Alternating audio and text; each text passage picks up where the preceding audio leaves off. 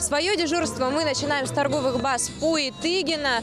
А люди пожаловались вот на этот участок дороги. После ремонта отсюда исчезла зебра. И, кстати, вот этот знак э, работники торговых точек подняли и установили самовольно. Его дорожники тоже убирали. Люди переживают, что дорожники не сделают разметку и все останется в таком виде. Переходить дорогу здесь тревожно и поток машин есть всегда.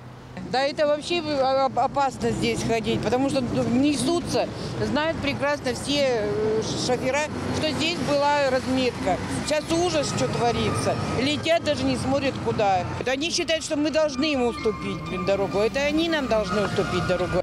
В Архаграде уверяют, в таком виде участок не останется, подрядчик все сделает в срок. Соответствующий знак из зебра появится в течение следующей недели.